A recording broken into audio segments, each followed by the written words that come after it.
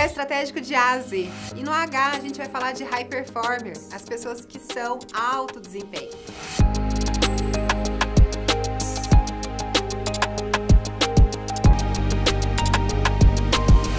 Para a letra H, a gente fica aqui então com high performer. E o que é essa pessoa alto desempenho ou high performer?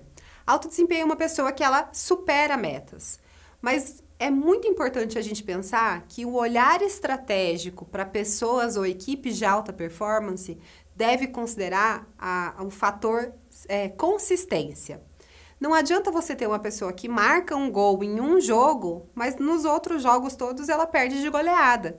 Então, o que, que a gente tem que buscar? Uma pessoa de alto desempenho, ela entrega resu resultados acima do esperado de uma forma consistente, ou seja, de uma forma recorrente em diferentes períodos que foi observada.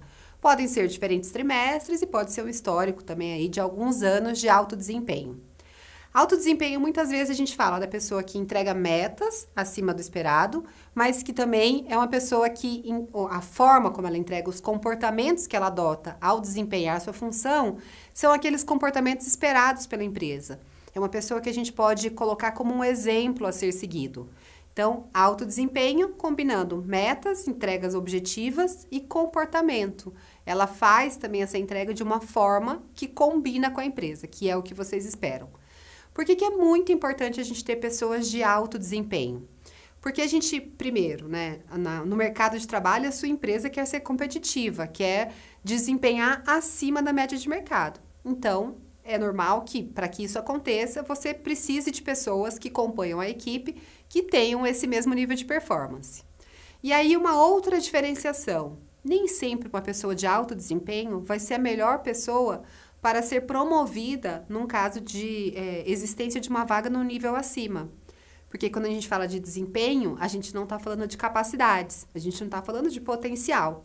Então, o alto desempenho, ele é super importante para você pensar em dar o maior desafio da área, daquele tipo de projeto para essa pessoa entregar, porque ela tende a fazer isso, né? Buscar essa meta, se perseguir objetivos e ainda superar, surpreender. Mas, para você falar que ela tem condições de assumir mais complexidade, aí você tem que olhar para outros fatores que entraria ali o high potential. Então, de forma estratégica, procure pessoas que sim, tenham drive, tenham ambição e tenham energia para entregar mais do que você espera para a função deles. Espero que você tenha gostado de mais um vídeo da série RH Estratégico de A a Z. Aproveite e inscreva-se agora aqui no canal, ative o sininho também para ser avisado dos próximos vídeos e deixa seu like, compartilha com os amigos, com pessoas que você sabe que também vão gostar desse conteúdo. E também quero te lembrar que Laura Vidal Consultoria, a partir de agora, é SALT, Transformation Insights, a marca consultoria que vai te ajudar a ser um RH de resultados.